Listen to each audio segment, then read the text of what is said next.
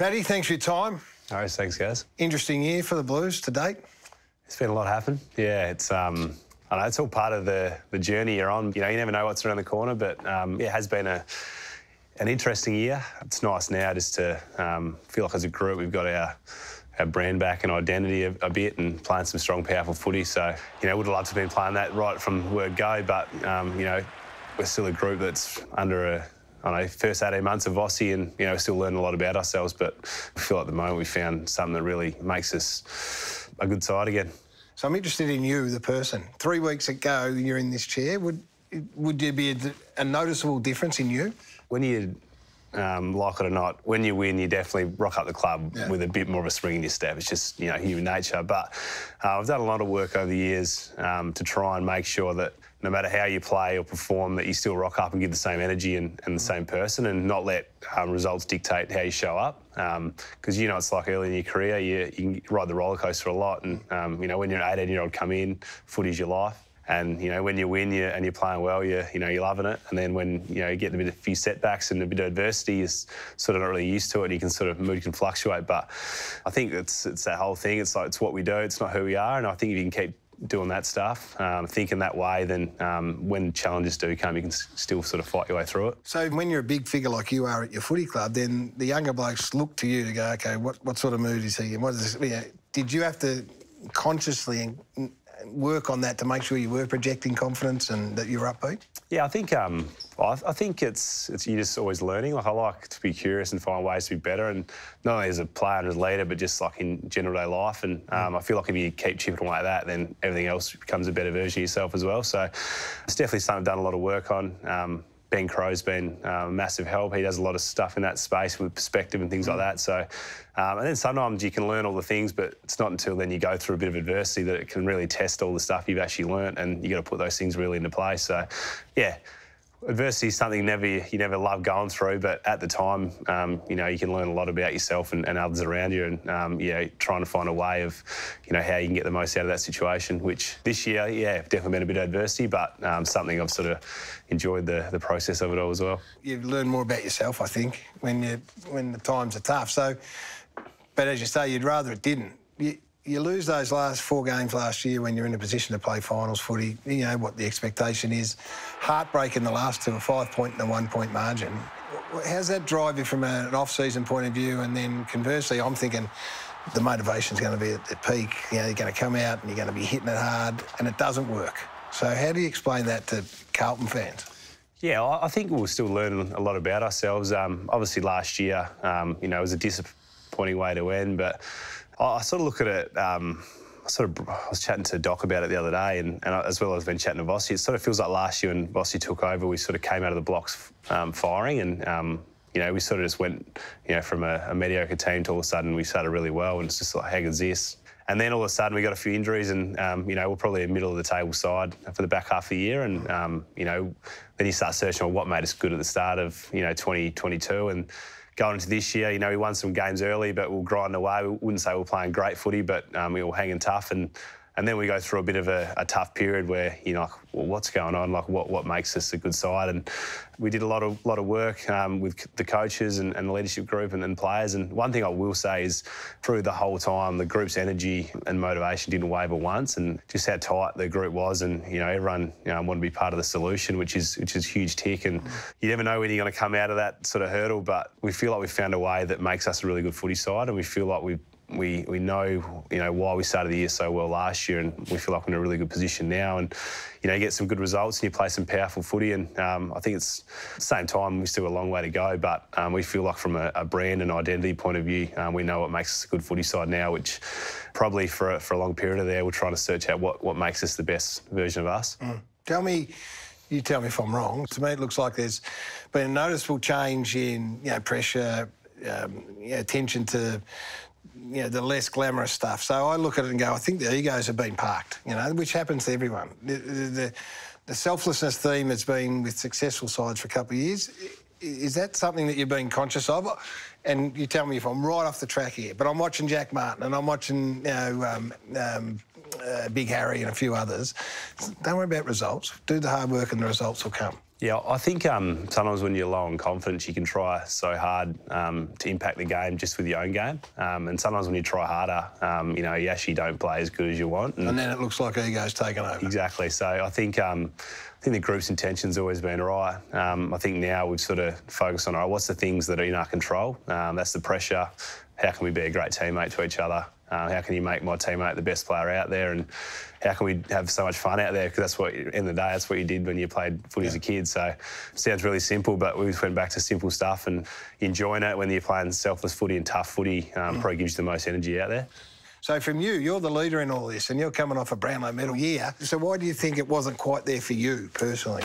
Um, I think a bit of that. I was, you know, you start um, having a few games to below par, and um, you know, you want to help the team, you know, get forward. So you, are nearly trying harder sometimes, and it's not going for you. And I just went back to, to the basic stuff. Like I'm, I'm playing my best when I'm playing with physicality and aggression, and um, you know, more being the I suppose the hunter rather than the hunted. You know, I love the competitive nature of a game, and so I just kept really simple, focused on my pressure, and um, just try to have as much fun out there as, as I can. And um, yeah, like on the back, it's you know, played played a few decent games, but um, it's more what I'm more happy about is you know guys guys around me playing really good. Like I think guys like Walsh, he's back to his his best. He's playing that power. Ches has been um, amazing all year. Um, he's just taking his game to, to, another level. And then you got guys coming in like Fogarty and Cunningham out a different layer. And um, so it's just it's, it's fun to play. Um, and, and like I said at the start of the interview, it's sort of we feel like now we we know what makes us the best version of us as a side. And um, you know every week's a new challenge.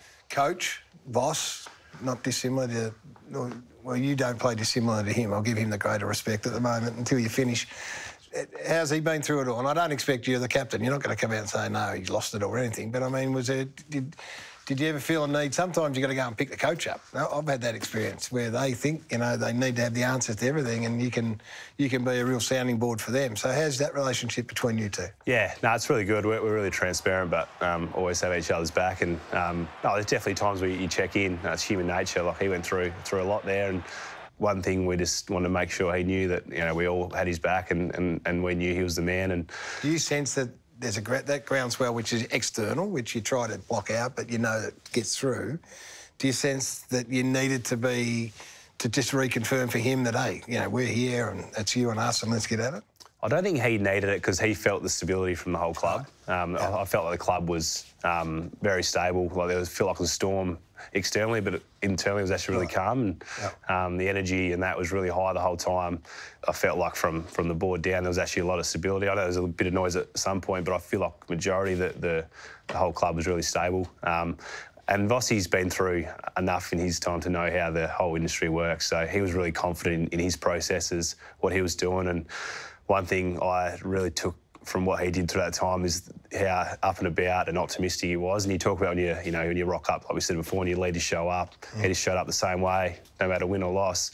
But his positivity, his relationships, and, and keeping everyone um, on the same track has been his biggest strength, and um, that's why the, the boys love playing under him. So I've read a lot of stuff about you and him. So it's new age, and this is sometimes us older blokes get, trying to get our head around it. And I hear Brownie talk about Vossi. Brownie's version of Vossi, the captain, and what you just described can be polar opposites. He was brutal as a player, sometimes brutal as a captain in his feedback.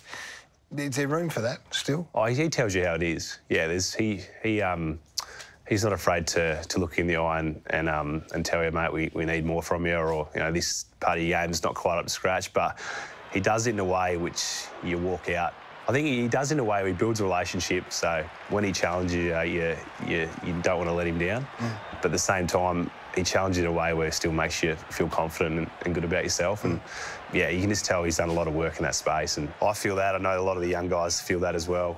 He's got an aura about him and, a, and a, and a physicality, oh, yes. and, and, he's got a presence when he walks in the room. And I think that's what really makes him good. And yeah, I, I think that that real, you know, build guys up, but also challenge them and say, mate, this is the standard we need. Um, he's a good. He's got a really good balance of that. And your style as a captain is it in your armory to give give a, you know some brutal feedback if and and have trust in the relationship to know that it'll be received the same way. You have an accountability and the standards you want to set as a, as a group and, and as a leader, what, what, you want the culture to be and, and the way we want to play. My whole philosophy around leadership is how can I make guys feel good about themselves? How can I build confidence and belief, especially the young guys? Mm.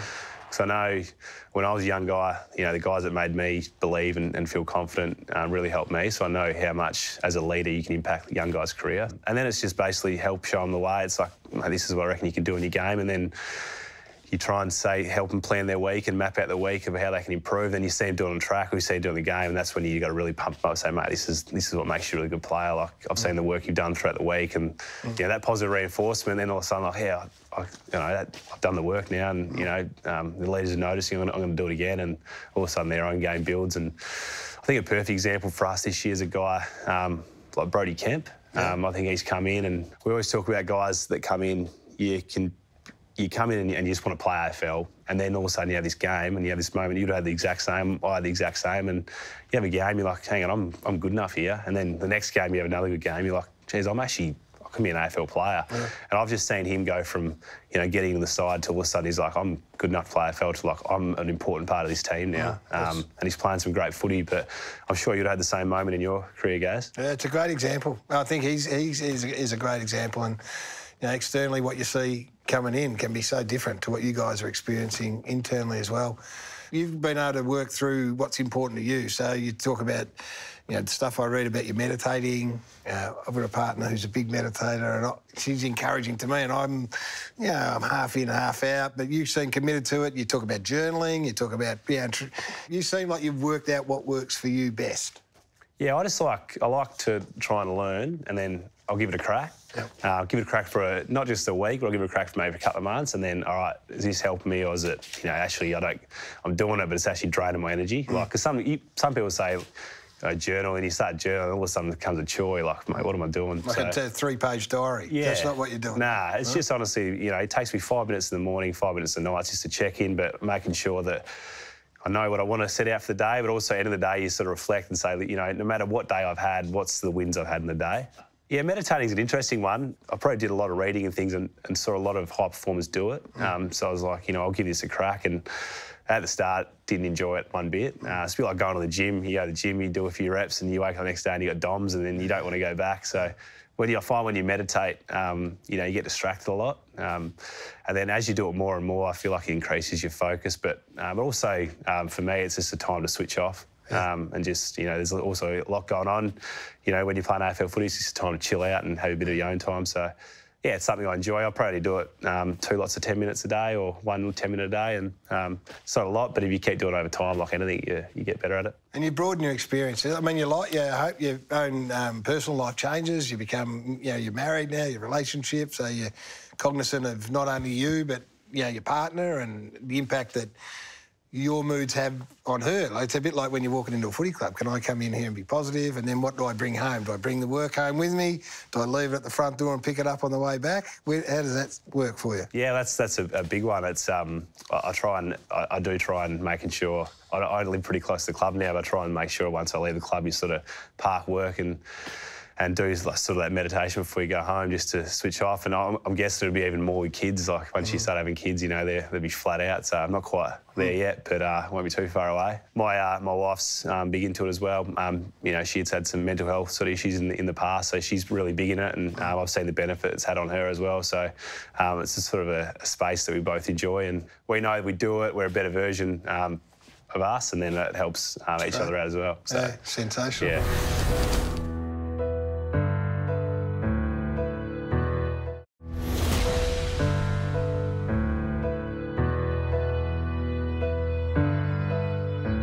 Student of footy? Do you watch what's going on around you? you you taking notice of Collingwood? You're taking notice of the way they play? Themes and the threads of the competition that you're noticing and that you guys are either jumping on board with or are prepared to go a bit differently?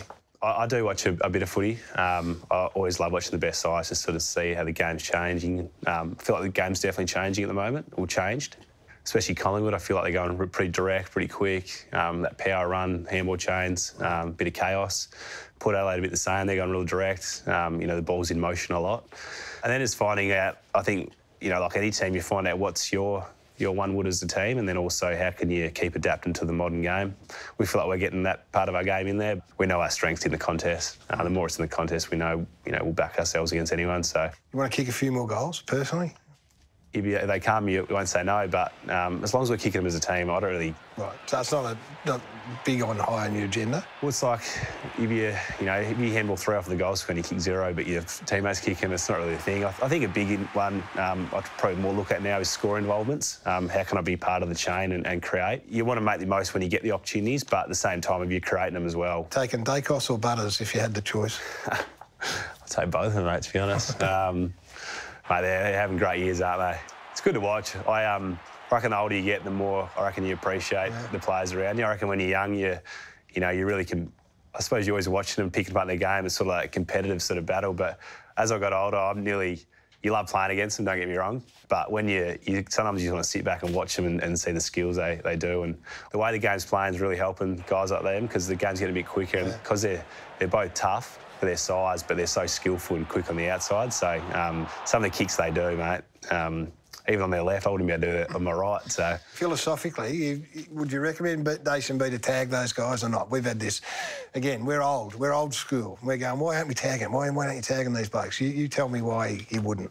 Or you would. I think you got to back your, your system in. It all depends on the team structure, but you back your system in. I think there's there's always going to be accountability for, on the best players because how can we still minimise what they can do but sort of maximise our strengths? The, the hard thing with with the, the the best teams is you know you put so much time into one. And if they're a smart footy player, which they usually are when they're the best, then they can start manipulate the structure around the stoppage and the game which then can expose you in other areas. Plus, you, you know, let's say look at Collingwood, for example, you got, you got DeGoey, Pendlebury, Tom Mitchell. So you put all your effort into Daicos, all of a sudden DeGoey gets off. So it's Daicos is having an amazing year, like freakish level. Um, but you also got to be calculated about, you know, if you you want to shut him down, but is that going to give other someone else, you know, more of a more of a crack? So um, yeah, it's always a balance, mate. But then there's also a time when they could be getting out of control, and you say, look, this guy's killing us here. We need to we need to um, sort him out. So Fire away. This is a two-way street, Yeah. so you can. You, you, um, we're, we're accountable as well. no, I'm interested, guys, because um, like as the media, like going from playing where you know you can get adversity, and you get a lot of stuff thrown your way, to then you go into the media, um, and I, I think when you you know, when you're going through adversity, you'd have had it, and you know, people, a lot of people mess you. I Hope you're right, mate. So I get now that the media, um, like, you get paid to have an opinion. Like that, that's your job. How hard is it for someone in the media where you have to, you know, you have to challenge someone, um, whether you feel like it's right or wrong. You know, I have to be paid to have an opinion. Um, I can't just always pump guys up. Um, how challenging is that for you? Because I think that's the, the trickiest part going from, I reckon, feel like would be going from a player to a media person because you know what it feels like when you get challenged. No, it's a great question. It's one we all uh, wrestle with, and it, what tends to happen is over time, you know, you get more comfortable with the role, and it's only natural. I don't think anyone that comes straight out of playing and comes in and starts swinging from the hip, you know, I think you've got to have the respect to, and you'd be given a bit of license to temper. You know your criticisms. I, I, you know, I think we all are cognizant of how hard it is. But as time goes on, you get more comfortable because you, you know, you're a bit distant from it what I always hope is the players that you guys, if I'm ever critical, look at it and go, okay, what, what's the rationale behind that? And if it if it ever is, you ever got to the conclusion and said, oh, he's looking for a headline, Yeah. then I'd be really disappointed. Yeah. And and I know as a player, mate, we, we you, you could get one bloke just pumping you up and pumping you up and pumping you up, and you just accept it, and you know it makes you feel good. The moment, moment he gives you a kick in the arse, you're the worst prick in the world. Yeah. You know, and you go, well, hang on a minute. There, there's the 30 times where I've been supported, but you got to be so. As long as it's balanced and reasonable, I think. Um, yeah, we live with it and it sits comfortably on you. We did some stuff on the weekend about a young couple of young North Melbourne guys that you know maybe could have gone harder, and then yeah, we have that conversation. Yeah. Is this fair? You know, is this picking out someone? And you go, well, yeah, it's not for the sake of doing it. It's where North Melbourne are at. These guys have got to get better, and hopefully it's taken that way. And have you ever done ones where you're like, oh, I wish I didn't go down that path? Or is there ever an, an age limit where you say, you know what, I don't agree with, you know, an act they did in the footy field, but, you know, Yeah. are they 18 or 19 and I feel like I'm just going to, you know, let that one slide? No, spot on. Uh, we or me, my attitude to that is, yeah, if someone did not go hard enough, or then we go, look, he's a young kid and he want to he want to be better next time. If it's Patrick Cripps, you know, in his ninth year, then Yeah. the criticism would probably be a bit more pointed. Yeah. No, I think it's. Um, I always talk to the boys about it. It's like everyone talks about like control the controllables, and um, like it's it's easier said than done. But when you, I think when you get to an AFL level, as a junior, you know, you're just playing footy and there's no distractions. Where once you come to AFL level, it's because it's a big industry. There's you know a lot of a lot of chatter, a lot of distractions. Like you said, good or bad. Um, and I feel like you the more players can actually remove themselves and not actually expose themselves to reading stuff. That's um, interesting. So yeah. I'll ask you on that. So I don't do any social media. So I, I'm, I know that I'd be getting abused and criticised somewhere out there. Are you a social media participant? And my next question, if you are, why would you be, given that you know what I understand to be out there? I'm on it, but I wouldn't say I'm on it much compared to, to most. One, for that reason, it's, um, you know, you can be as mentally strong as you want, but if you keep saying negative sort of comments, you, you, you do get better at sort of having a laugh about it, but um, there's certain things that would definitely affect your, your psychology. So, So for your younger group, like, and don't worry, we, we all remember when we were young to get some you know, praise. So you go, you know, I'd imagine social media, but also what comes with it is so damaging, I reckon. So what's your advice to those kids? Well, it's like, yeah, you don't want to ride the roller coaster, but when you're young, it's like you said, the novelty was like, you know, I've just made AFL, I've had a good game, you know, mm-hmm. how good's this? You know, people start to recognise me, you know, people are talking about me, but once it comes up, things go down. So no one's going to be bulletproof their whole career. So better off is just to not read it. Uh, but sometimes you got to learn, you got to go through the fire to actually to, to learn that a bit as well. And like you said, like when things aren't going great, you know, if you are reading all that, then you start there. But when things are going well, you know, you put up there, like the media, we, you guys talk about the extremes, you know, but we want to be in the middle. So. I know the old saying, nothing's as good as bad. It's like, well, I can't control what you say about me. All I can control is, you know, what I do throughout the week, you know, how I think and how I play. And um, if you keep having good habits with that, then, um, you know, everything else is irrelevant, really. So what about mentor for you? And you, you'd have them around the footy club, I accept that, whether it's a line coach or you know, whoever, it's a club psychologist maybe. You got someone outside that, that's got a different you know, lens on what's going on? Yeah, I've been um, been chatting to Ben Crowe a fair bit Yeah, I in the last Ben couple of well, years. So you know, his obviously story's been uh, huge with the, the impact he's had on a lot of people, and I just love his the way he sees things um, from a perspective point of view in life, but also in sport. He's been great as just a sounding block, and um, you know. Just talking about exactly what we're chatting about there, but um, you know, what are the things you can control versus you can't? He always talks, um, you know, trying to control the things that are uncontrollable just causes anxiety. So, pure example, it's um, you know, you write down all the things you can control, write down all the things you can't, you know, cross them off, and then just stick to the things that you can control and build your week around that. And things, simple things like that's really helped me. Great advice. So Paddy Junior, Paddy Cripps Junior has arrived. He's 15. He's got a um, the BBL contract in front of him with the potential to play for Australia. And Carlton are going, no, no, you're coming over here. What's Dad saying? I reckon I'll get a footy in there pretty quick. yeah, but um, yeah, I don't know. It's I reckon it'll be it'll be interesting to see once you know you you, you do have kids and they do grow up because you sort of don't want to force you know, everything down them, but um, you know any any sport I'll, I'll try to get involved in pretty quick. Away from footy, uh, completely away. What is it that uh, makes you happy and keeps you busy? I know you and I have had many farming chats over the journey, but what is it that makes you happy?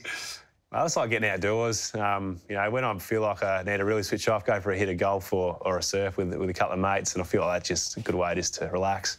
Other than that, just yeah, I, I'm a big family man. Um, you know, my close mates I, I love hanging out with when I can. So, you know, I think they're the people that um, you know just make you you know feel like you're back on the farm when you're a kid again, and um, that's you know.